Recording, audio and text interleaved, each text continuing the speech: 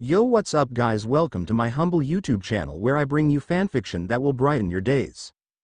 Before we start a subscribe is greatly appreciated and don't forget to leave a like and ring the bell icon so you won't miss exciting new fanfiction stories. Tensura. Melting the Eternal Frost by Jack D.A. Web Chapter 23 Playtime's over. Rimuru's Pav it's good that those two finally managed to reconcile. I couldn't exactly hear what they were saying, and I didn't want to pry, but things were looking up from the way everything looked. However, that's not my main issue. Those two still want to fight. Aren't they satisfied yet? I'm not sure how much longer this barrier can hold. Every time a stray attack hits the barrier, I deplete more energy to compensate for the damage. Yo. Veldora. How are you holding up? Less than kuahahahahaha. I'm doing alright. Rimuru. Greater than. Good for you. I can't exactly say the same myself. I'm using up a shit ton of magicules at an alarming rate. Currently, you have depleted less than 5% of your total magicule supply. Oi, Ciel, did you just casually reveal yourself to Veldora? Less than kuahahaha. I was already aware of Ciel's existence ever since your Demon Lord evolution, greater than. R really? Less than UMU. It was a very surprising revelation. Never before had I encountered a skill with an ego. Greater than. I see. And I assume you're alright with him knowing about you, Ciel? Yes, Rimuru-sama. Besides, even if Veldora was unaware of my existence before, his assimilation with you transferred his soul into yours, where I reside. It would have been nearly impossible to keep myself hidden. I suppose that makes sense if you put it that way. Less than but still, I was surprised. When I got transferred into your soul, Ciel, who I knew back then as your skill, Raphael, seemed incredibly different. Eventually, I figured out that you managed to separate the ego from the skill by granting it a name, a feat I never thought possible. Greater than. Fufufu. I commend you for figuring that one out on your own, Veldora. Mhm. Never would have expected it myself. Less than kuahahahahaha. A simple task for someone such as me, the mighty storm dragon, it was made especially easy thanks to my ultimate skill, Faust. Anyway, that aside. What the hell should I do about those two battle maniacs? Less than let them fight. Greater than, huh? Have you gone insane? Less than they're still holding back, Rimuru. The barrier will be fine, greater than. Idiot. That's not the point. Rimuru-sama, I suggest that you intervene in their battle when your magicule supply has depleted by more than 10%. Ciel? Isn't that dangerous? With 10% fewer magicules, I'll be no match for them. Fufufu. Rest assured, Rimuru-sama, with the assimilation still active, you'll be more than powerful enough to stop them. It also helps that they're both holding back significantly. That doesn't instill much confidence but I'll take what I can get. Additionally, intervening in their fight would be the perfect excuse to use a new ability we'd like you to test out. Wait, what do you mean by, we, less than O? So you want to give that a go, Ciel, greater than. The hell? What are you talking about? Veldora and I have devised a combat mechanism that you can only utilize when True Dragon release. Has Veldora assimilated with you? Combat mechanism? So while I was busy maintaining and strengthening the barrier, these two were fiddling around with abilities. Sigh. I expected this behavior from Ciel, but to think that Veldora would take part. What role did he even play in creating this combat mechanism? Think of Milim and Velzard's current transformations. Those two gained new forms through the use of something known as battle mode. It is an ability that transforms the user's body into one that is best suited for combat. Several factors are taken into consideration when the ideal form is created, such as the user's physical attributes, magical attributes, and spiritual attributes, just to name a few. Oh, so what you're saying is that I now have a combat form like Milim and Velzard? Precisely. Cool, as expected of you, Ciel. But where does Veldora come into play? Less than kuahahaha. How could you forget that at this moment, the majority of your magical attributes are from me? Greater than. That's right. A lot of my magicules right now come from Veldora. Even if he is currently assimilated with me, most of the energy I'm using is ultimately his at the end of the day. Still, that doesn't explain why Ciel said, we. Less than thanks to that fact, I can influence certain aspects of the form. Ciel and I created the most optimized form for you to use. It'll come in handy for stopping my sister and niece, greater than. It took some time to create the most optimal combat form. After all, you have a lot of abilities at your disposal, and your attributes have been significantly amped thanks to Veldora. But we managed to come up with a transformation that best suits you, Rimuru-sama. You too have my most sincere gratitude.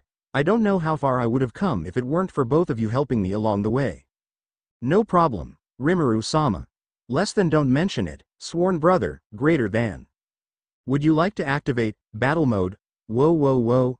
I can't just reveal a powerful trump card like that in public. Foo foo foo. That is not a problem, Rimuru-sama. With a bit of illusion magic and thought manipulation, for good measure, none will learn of this new ability. Eh, A alright then. I trust you. Less than kuahahahahaha. Yes. Witness our masterpiece, Rimuru, greater than. Activating, battle mode, storm. After Ciel uttered those words, I felt an immediate change within myself. I stood up from my seat and waited patiently as my transformation took place. Judging from its pace, it's nowhere near as quick as Milim or Velzard's transformation. I presume this is due to it being my first time. My whole body began glowing, and then it started morphing into the ideal shape. The process was weird. For one, my point of view slightly shifted as I grew taller. I felt lighter and more agile.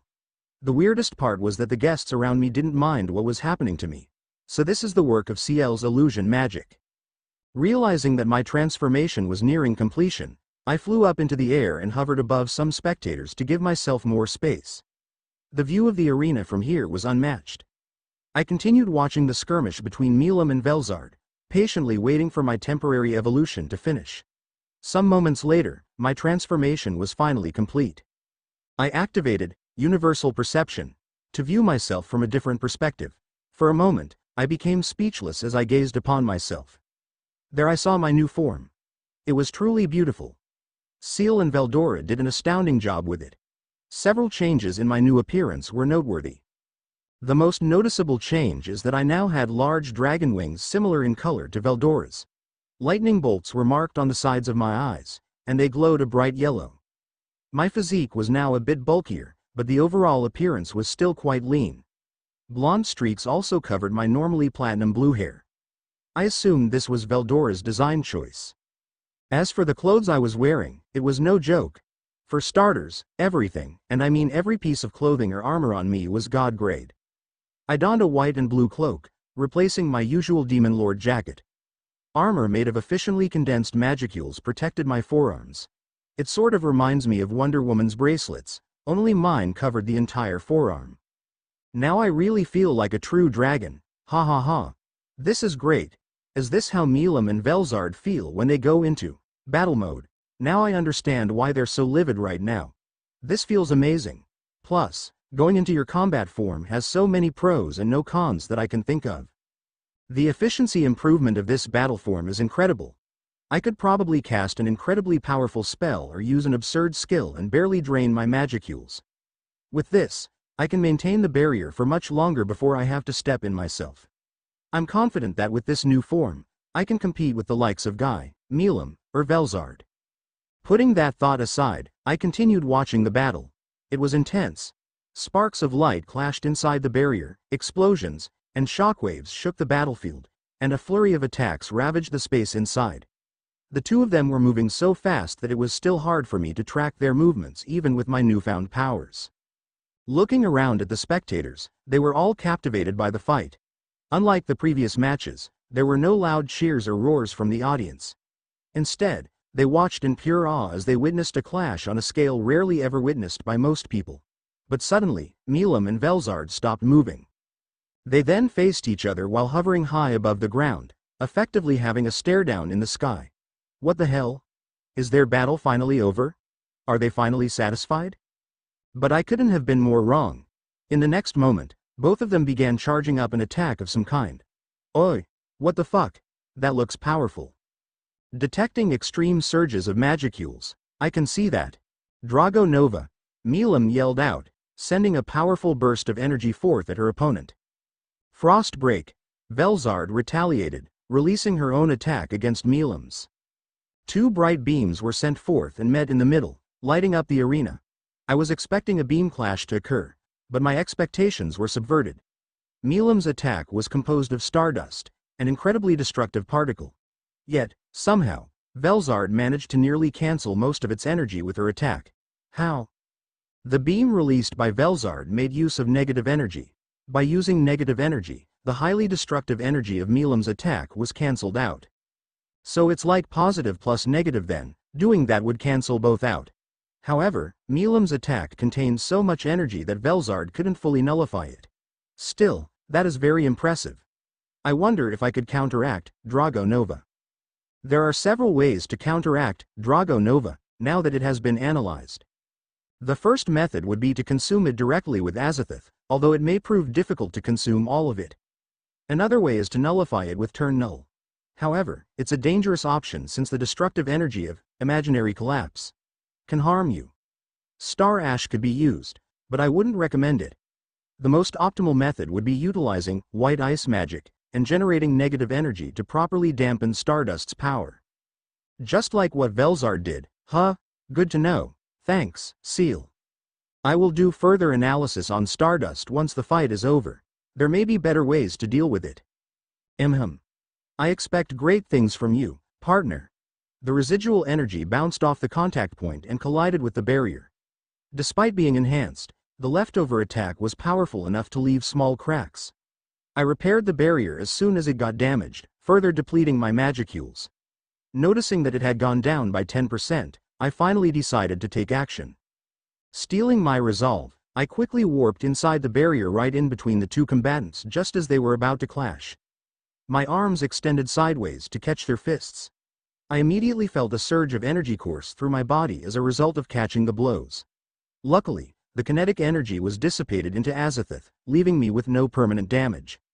I think your fight has gone on long enough. I stated firmly, surprising both Milim and Velzard. R. Rimuru. Milim stuttered, surprised by my intervention. She quickly backed away, appearing ever shocked. R. Rimu-kun. What's with the new look? Velzard asked, surprised. HMPH. You two aren't the only ones with battle forms. I replied smugly. They both widened their eyes in amazement. So this is your battle form, Rimuru? Milim asked excitedly while flying around me, examining my new appearance. Fufufu, it looks like you fused with Veldora, but the form looks amazing. Velzard complimented genuinely. Well, I did have to assimilate his energy with me so that I could contain this damn battle. I said bluntly while giving Milim a side eye. She awkwardly whistled away pretending not to notice my words. Sigh, you two are a handful. I remarked tiredly, causing Velzard to giggle. Next time, let's fight, Rimuru, Milim demanded excitedly. Hard pass. I denied it immediately. Why? It's such a waste not to use your battle form, and one that's extremely powerful too, Milim cried out. My battle form is for emergency cases only, besides, I can't use it without Veldora. I explained, causing Milim to sigh in disappointment with a pout. I've also devised a battle mode that doesn't require the assimilation with Veldora. Huh? You can't just casually drop a bombshell like that, oh well. Thank you, Ciel. Fufufu. No problem, Rimuru-sama. I guess I can use a battle form without Veldora. However, I'm not telling Milim that. I'm sure she'll hound me for a fight every waking moment if she found out. Despite my current strength, I don't see myself beating the likes of Milim, Guy, or Velzard, not without true dragon release. Or imaginary collapse. Now that the fighting has stopped, I return to my normal form. Milim and Velzard did the same. I then dispelled the barrier, which made me regain most of the magicules I expended while maintaining it. I then released Veldora back into the physical plane, meaning my EP had gone down back to 25,700,000. How sad. Welp. It was fun while it lasted. Kuahahaha. How did it feel wielding the power of a true dragon, Rimuru? Veldora asked excitedly. Milim and Velzard looked eager to hear my response. If the circumstances were better, I said and paused to look at the two fighters with a deadpanned face. They both proceeded to look away sheepishly. It would have been a lot better. Regardless, that was amazing. I almost got drunk on power. Thanks for your help today, Veldora. I expressed my gratitude sincerely. UMU. If you ever need to wield my power any time, let me know. Veldora affirmed happily and I nodded with a smile. This makes me wonder. Could you do the same with me, Rimu-kun? Velzard asked curiously, causing Milim and Veldora to perk up. Definitely. But I'll explain it more at another time, I told her. Fufufu, looking forward to it. Velzard replied. Third-person Pav as the Milim, Rimuru, and Velzard bantered in the sky, the audience was left in utter shock from what they'd witnessed. For one, they were able to see a battle between the gods take place, a rare opportunity few even get. But most shocking of all was the fact that they witnessed Rimuru take a head-on attack from both Milim and Velzard to stop them.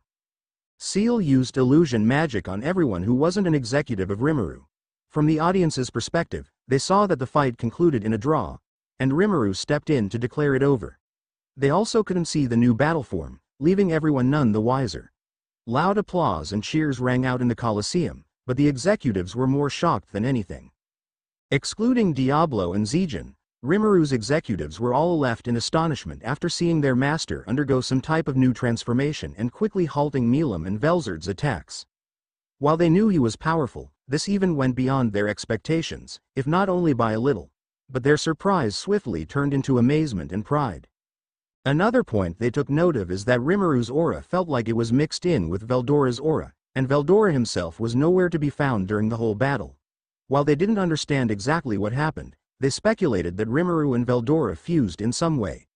It's an absurd thought that would normally be dismissed, but their master was the very definition of absurd. That their individuals in the air landed on the ground and then Rimuru walked over to the podium. He declared the grand tournament of battle, as well as the entire founding festival a resounding success. The Colosseum erupted into the loudest applause of the day, and out of courtesy, Rimuru, along with Milim and Velzard, took a grand bow on stage. Nighttime had befallen the city, and so Rimuru and Velzard met up with the guests for one last dinner. This would mark the conclusion of the founding festival. After which, the guests will return to their homelands. Rimuru's POV everything has gone smoothly so far. Thank Veldanaba. Excluding some obstacles concerning a few, EHEM, battle maniacs, the event was amazing. There was also the issue of Shimo being placed too high in the dungeon, but I consider that a minor problem. It can easily be resolved by simply moving her position. Anywho, we were now seated at the grand dining hall, having one last dinner before the guests departed the next day. Velzard had returned to her maid form. Hee hee hee. It looks like she intends to uphold her end of the bet, Thankfully, the guests didn't question anything regarding her anymore. Oh yeah. I also told those who weren't under the illusion magic to keep what truly happened a secret from everyone else. My Veldora battle form should be a trump card that must be kept hidden from everyone outside of Tempest, ally or not. Speaking of battle form, I did briefly allude to the fact that I could assimilate Veldora and Velzard simultaneously. I wonder if the form would look different. The new battle form would indeed take on a new appearance if Velzard were assimilated along with Veldora.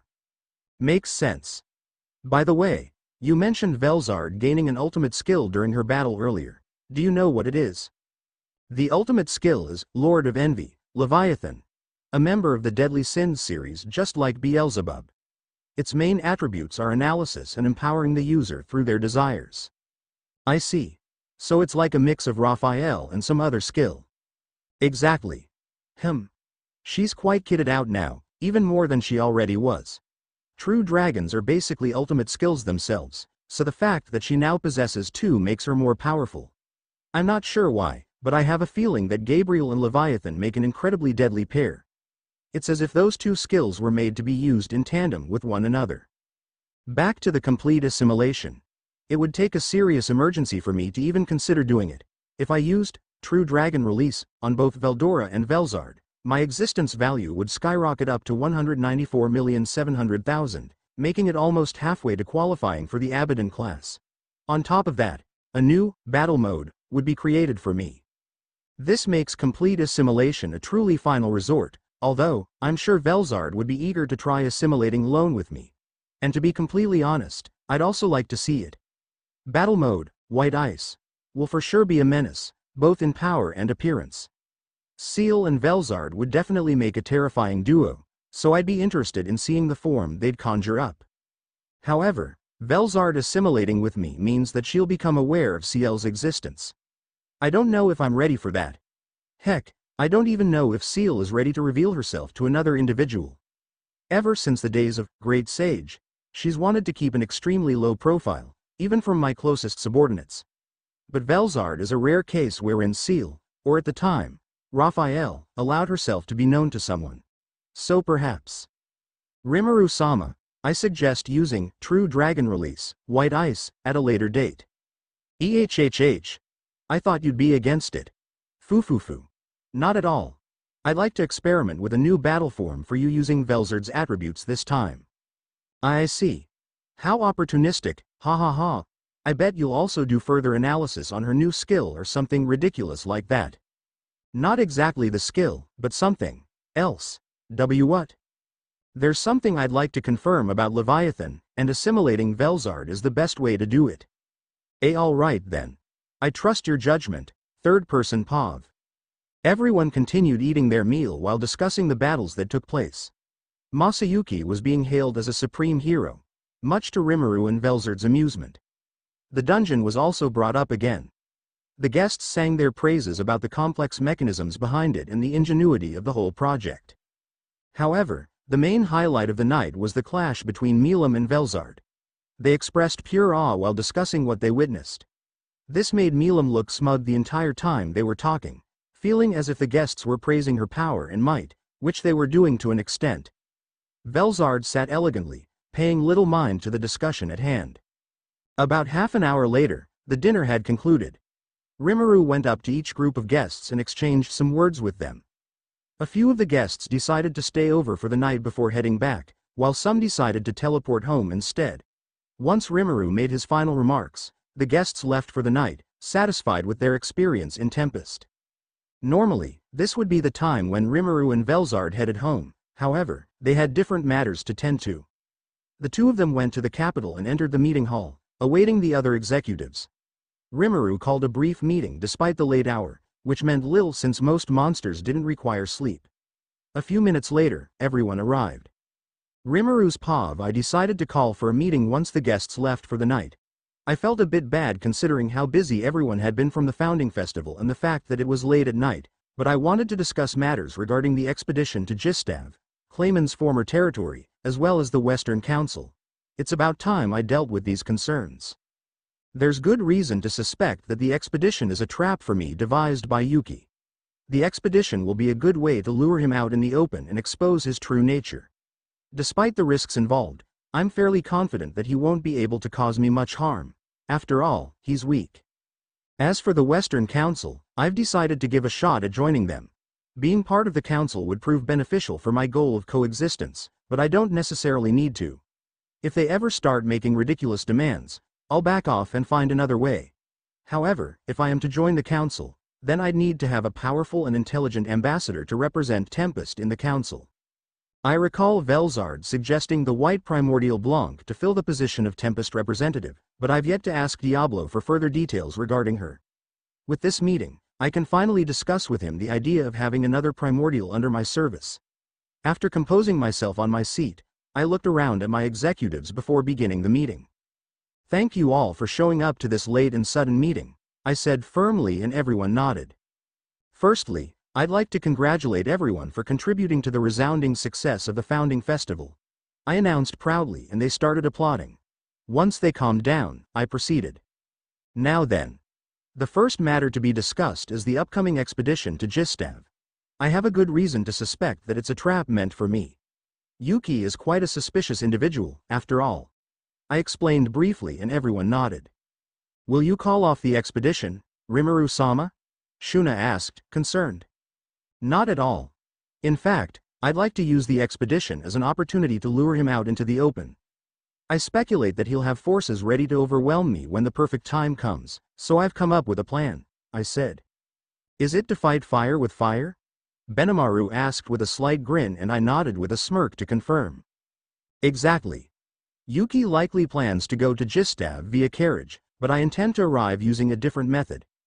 Velzard, and I will head there first, and she'll conceal her presence as soon as we arrive. Shion and Sue will accompany Yuki and his group on the carriage to keep an eye on them. I elaborated. Understood. Rimuru-sama. Sue affirmed firmly. You can count on me. Rimuru-sama. Shion exclaimed proudly. Fufufu, so I'll be a hidden force of sorts. I'm excited. Velzard said with a devious grin on her face. Imhum. While I'm confident that Yuki can't do anything to me, it's better to be safe. Who knows what monstrosities lie waiting in Jistav? If things get messy, then I'll transport some of our troops to the expedition site. Benimaru, I'd like you to have some military personnel on standby. I requested and Benimaru nodded. Now for my next concern. It's about the Western Council, I said. What of it? Kaijin asked curiously. I intend to try joining it, as doing so would be beneficial for my goal of achieving coexistence with humanity. I explained, causing some of my executives to widen their eyes in surprise. I fear that they still resent us monsters, even if Luminous San has changed the doctrine. It'll take a long time for humans to adjust to such a drastic change. Shuna remarked dejectedly. It's worth giving a shot since it's the best way. But joining would mean I'd require an ambassador to represent Tempest in the council. They'd have to be quite powerful while also being capable of handling matters diplomatically. I explained. Shion immediately perked up after hearing that. Then I shall be Tempest's ambassador, Rimuru-sama. Shion declared boldly and the other executives shuddered with fear and concern. Absolutely not. I quickly shut her down. Bibi but Rimuru-sama, aren't I strong enough? She asked in despair. That's not the problem. It's that you can't handle things in a diplomatic matter at all. I shot back loudly, causing her to fall to the ground in defeat. Kufufu. If the first secretary isn't up for it, then it's up to me. Rimuru-sama. Diablo chimed in smugly and Shion looked at him in annoyance. Sigh. These two and their stupid rivalry. I'm afraid that's out of the question, Diablo. While you are my strongest subordinate and also capable of dealing with political matters, your plate is already full enough. I'd hate to add such a grueling task to your list. I said earnestly. Diablo remained firm, however. That is not a problem, Rimuru-sama, he insisted. It's better if you focus on your assigned tasks. Rather, I have something else to ask you, Diablo, I said. What is it? He asked. There is someone in mind that I'd like to give this task to. However, they aren't a part of Tempest. Not yet. I said ambiguously, causing my subordinates to grow curious and a bit surprised. But Rimuru-sama, being a Tempest representative in the Western Council is a major role. Wouldn't it be better to assign that role to someone in our ranks? Shuna suggested with a hint of concern. Ideally so. However, everyone already has their respective roles, so I believe it's best to look elsewhere. Besides, this person was suggested by Velzard, and I'd like to ask Diablo here for more information regarding them. I explained and they nodded. However, Diablo's eyes widened for a moment. I turned to face the slightly surprised demon before asking him. Diablo, tell me what you know about the white primordial, blanc.